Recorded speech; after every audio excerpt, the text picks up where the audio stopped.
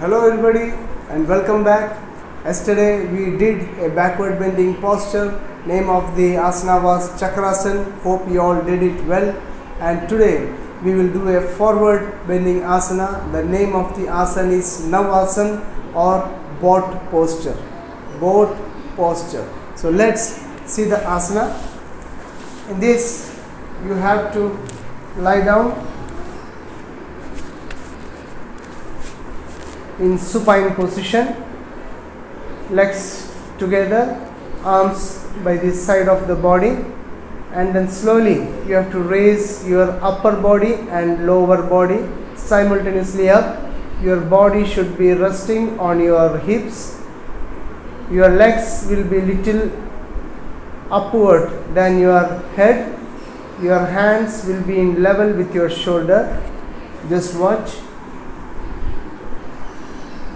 keep your palms facing each other.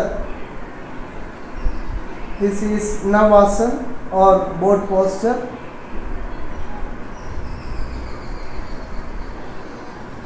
Toes stretched out and then slowly come down. Relax in shavasana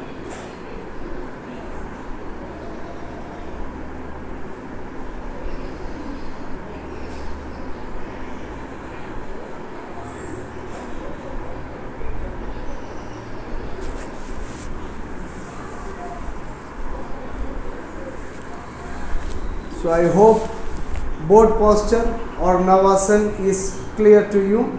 You are balancing your body on your hips. The benefits of Navasan will be given in the description box of my YouTube channel, Dr. Augustine George. So thank you very much for watching me. Take care.